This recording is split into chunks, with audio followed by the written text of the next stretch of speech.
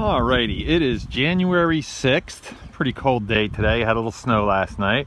And I'm now here picking up a couple of cars I rented to a friend of mine on his farm so he could shoot a pneumatic apple cannon at them. And this is the result. These car, this car actually was in really good shape uh, when I brought it down here. Unfortunately, it just, I couldn't, for some reason, I couldn't get it to run right, so it's not like something I could sell. Uh, and this is what happens when you shoot a very high pressure pneumatic cannon and a whole bunch of apples. I'd say there's probably been over a thousand apples shot at this thing. I think that damage on the roof is when they picked it up with whatever they brought them over here because they were in the other field. But yeah, it's pretty impressive, huh? And here's the other car.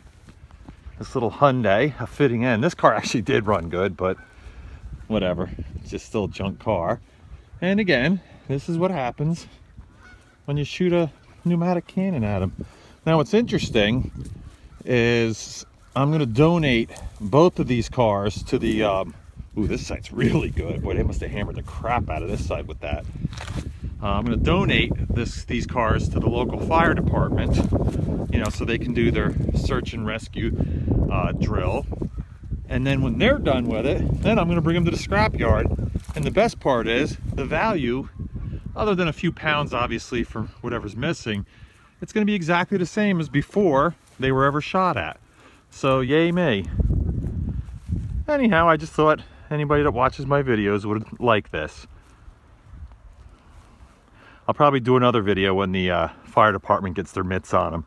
That should be fun.